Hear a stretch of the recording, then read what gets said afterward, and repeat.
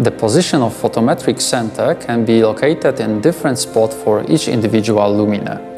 The standard describes several pretty simple situations.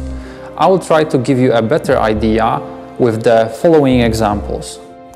In the case of this luminaire, we have a pretty simple situation where the illuminating surface is just a flat two-dimensional area.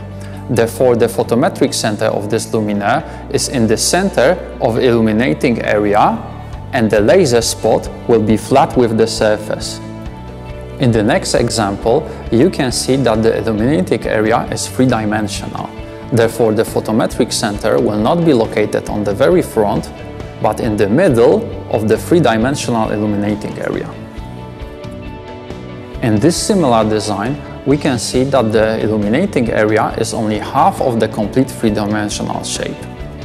Therefore, we can place the laser spot only in the center of illuminating area of this three-dimensional shape.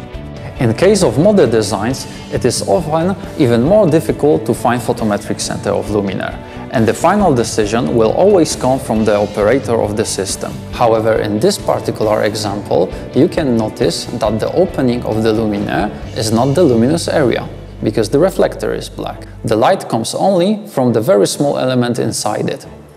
With the luminaire already prepared for the measurement, we can proceed to the software side.